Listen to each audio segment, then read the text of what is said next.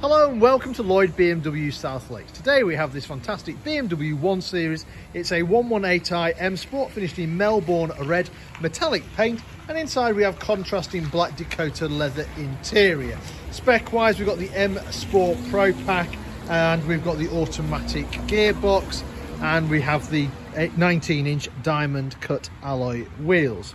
Um, so part of the Pro Pack, we get nice things like the sun protection glass, we get the upgraded M Sport brakes there you can see with the massive blue brake calipers, and we also get the black grills, which look a lot better than the chrome grills in, uh, in my opinion. So that's the outside of the car. Jumping on the inside, we'll see that the mileage is about 21,500 miles since it was registered in May 2021. Uh, so there's your black Dakota leather, sport seats, you get the bigger side bolsters, adjustable under thigh support, electric windows all around, electric folding mirrors, the upgraded Harman Kardon sound system as well.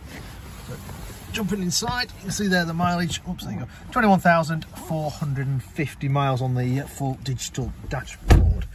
Right, close that door, start the car, foot on the brake, press the start button, and the car comes to uh, comes to life. Standard features, we've got satellite navigation. If we just use that to show you where we are. So we're based up in Cumbria in the Lake District. Oops, there you go. Um, so we are about 10 minutes off junction 36 of the M6, just to the south of Windermere. So beautiful part of the world. If you ever pass in, feel free to, uh, to call in.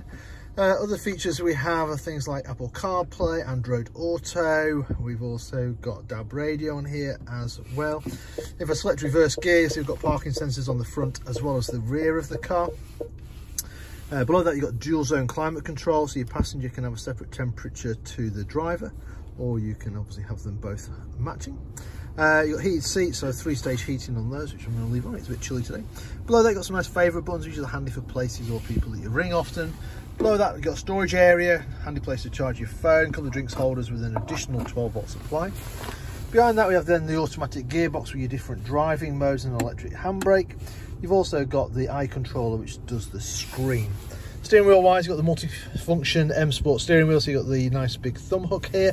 Uh, you've also got cruise control, speed limiter on this side. On the other side, we've got the audio controls, we can answer the phone, uh, got voice activation as well electric, uh, sorry, automatic wipers. Uh, and uh, get that focus down here, you can see there we've got automatic headlights along with the front and rear fog lights. Right, let me uh, turn that off and show you the rest of the car. So as mentioned, you've got the privacy glass there on the back, keeps things cooler in the uh, in the summer. Plenty of room inside the back of this one series. This generation is a front wheel drive car. Um, so over the previous generation being rear wheel drive, we get uh, more uh, leg room. Uh, nice uh, M colours there on the seat belts as well. Got ISOFIX on the uh, rear, on the outer two rear seats. And if you've got bigger kids, there's a couple of USB-C ports down there as well. Moving around the back of the car. Nice big boot. Um, it's got split rear seats if you need more space.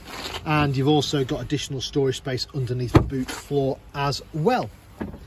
And there we have it. So if any interest in this uh, fantastic BMW 1 Series, then give us a shout. We can always answer any of your questions, organise a test drive for you, maybe work out some finance figures. Or if you're not local to us, don't worry, we also offer a nationwide delivery service as well. In the meantime, I hope you enjoyed the video. Thank you very much for watching. Bye for now.